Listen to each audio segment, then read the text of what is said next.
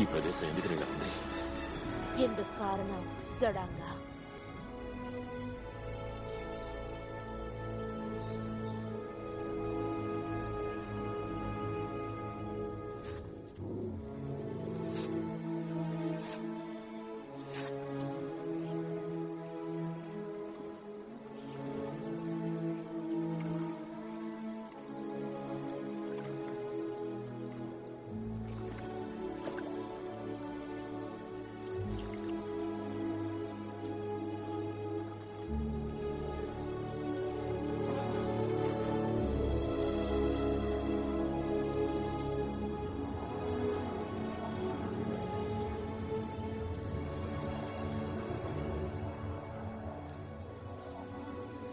ఆకాశంలో ఎగురుతున్నారు.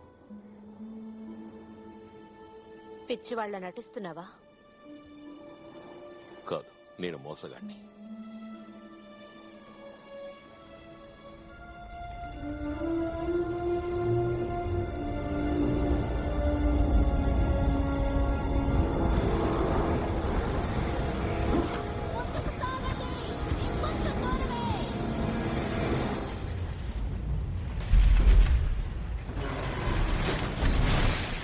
ఎందుకు తేజ థారిస్ని పెళ్ళి చేసుకోవాలి? మన యుద్ధంలో గెలిచాను కదా. ఇంకా లేదు.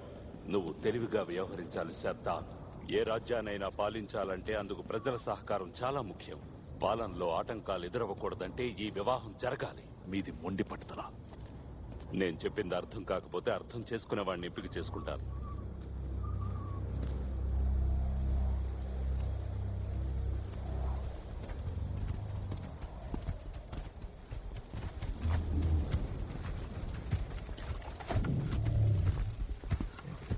చోటార్ సోచార్ కార్టర్ తను మనల్ని ఇద్దరికి తీసుకెళ్తుంది అనిపించడం లేదు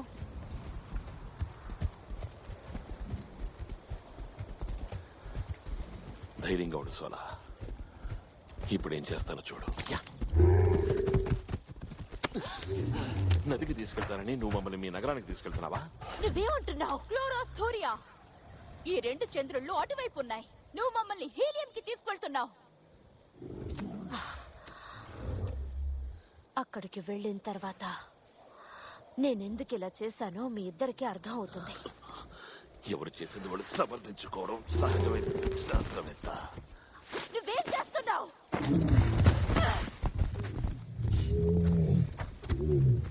వద్దు! జాన్ కార్టర్ వెళ్ళకు! ఈ పథకం పనిచేస్తుందనుకుంటాను. నువ్వు కొంచెం ఓర్పుగా ఉండు. తనే మన దారికి వస్తుంది. మూర్ఖంగా ప్రవర్తించుకో. నువ్వు తాన్వి కాదు. నువ్వు భూమి నుంచి రాలేదు. నాకంతా తెలుసు. నిన్ను నమ్మించడానికి అలా చెప్పాను. వెళ్ళకు. వెనక్కి రా.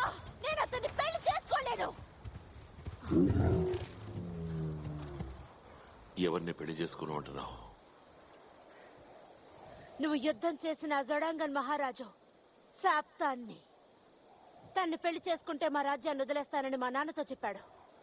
మీ నాన్నతోనా? టార్డోస్ మోర్స్. హీలియం మహారాజు. అంటే తను యువరాణి. మార్స్ గ్రహపు యువరాణి. కథలో ఈ మలుపు అద్భుతంగా ఉంది. పెళ్ళి చేసుకోవడం ఇష్టం లేని ఒక గ్రహపు యువరాణి రాజభవనం నుంచి తప్పించుకొచ్చేసింది. నన్ను నమ్ము. ఇంతేనా ఇంకేమైనా చెప్పాల్సింది ఉందా?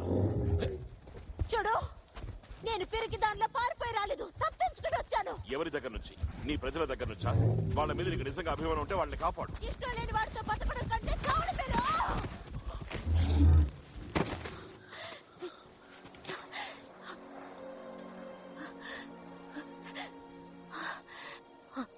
ప్రజల్ని కాపాడే బాధ్యత నీ మీద ఉంటే వాళ్ళ కోసం నీకు చేతనైంది నువ్వు చేస్తావు కదా? నీ తరపున నేను యుద్ధం చేసిన ఏ ప్రయోజనం ఉండదు. హీలియం కోసం నేను నా ప్రాణాలను అర్పిస్తాను.